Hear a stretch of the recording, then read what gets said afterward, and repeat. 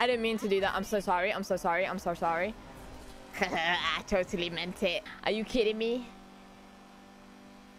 These people are gonna get run over. My god, they don't care. Ooh, ooh, that was too close. That was way too... I'm gonna end up with accidental pizza toppings on my car, and I don't mean actual pizza toppings, you know? These people need to watch out. What are they doing? I don't want meat all over my car. Oh, whoopsie daisy. I didn't see that.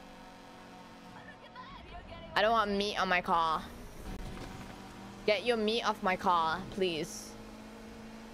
If you're trying to race a race, alright, and people are in the way, what else can I do, huh? Personally, I think I'm racing the correct way, alright? There's no other way about it when people are just in your way. You have to just deal with them. Why are they just stopping in front of my face? It's like they're asking to be touched like that.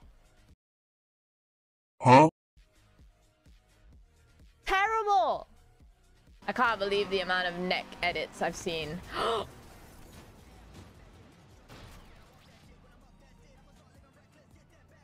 no one saw that. If you did see it, you didn't see it. What are you talking about? I'm gaslighting you right now. What are you talking about? Nope.